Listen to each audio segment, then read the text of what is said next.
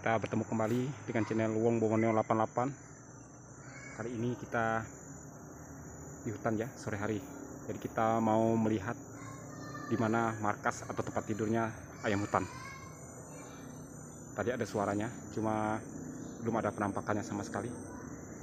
Jadi kita tunggu. Bunyinya ada tapi jauh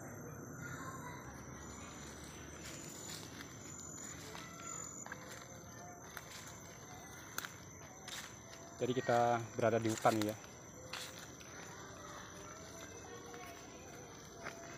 Kita ingin tahu di mana tempat tidurnya.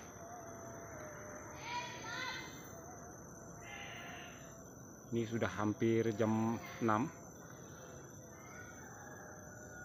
bunyinya ada tapi jauh. Dan diperkirakan tempat tidurnya di daerah sini. Jadi kita bersembunyi di pohon-pohon besar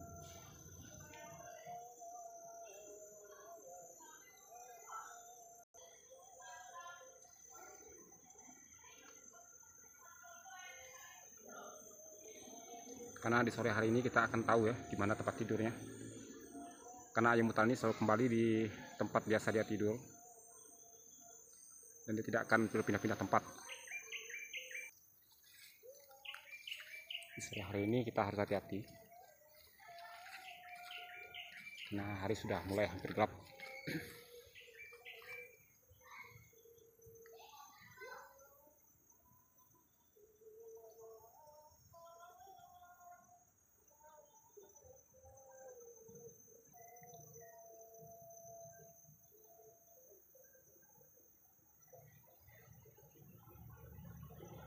matahari juga sudah hampir tenggelam.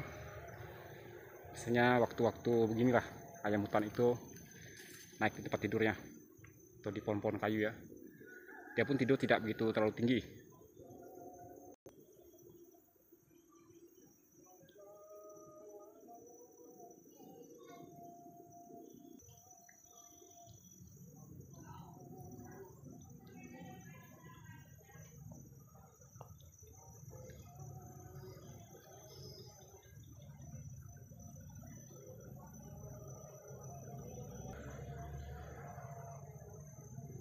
di situ ada dari situ ada model pergerakan.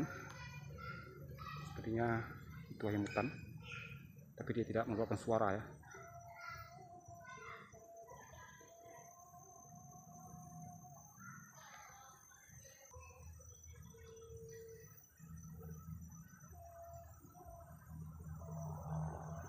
Jadi untuk mengetahui tempat tidur ayam hutan ini kita perlu bersabar dan tidak boleh mengeluarkan suara terlalu keras.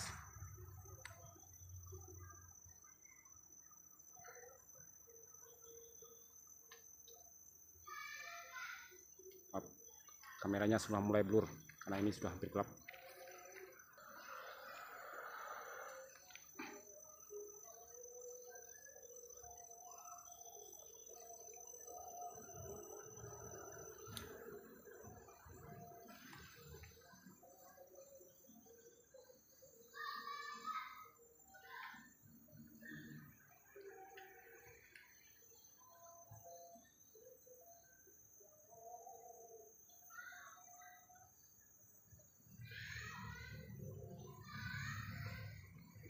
itu tadi ada seperti terbang.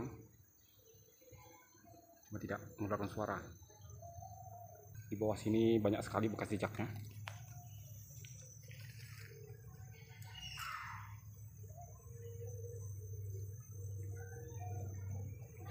Ini semak-semak tidak ada jalannya.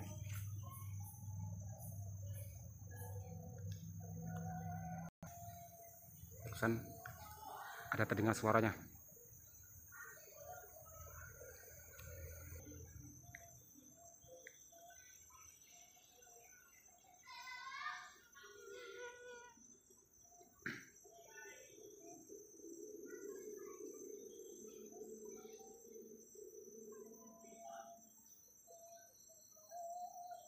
Jadi sebentar lagi ini akan maghrib. Dan tidak lama lagi kan akan gelap ya Terima kasih sudah menonton. Jangan lupa like, comment, share, dan subscribe-nya. Ikuti terus petualangan saya untuk berburu hal-hal unik dan menarik di hutan maupun di perkotaan. Nanti kita akan lanjutkan lagi video berikutnya untuk mencari keberadaan tempat tidur atau markas ayam hutan. Terima kasih.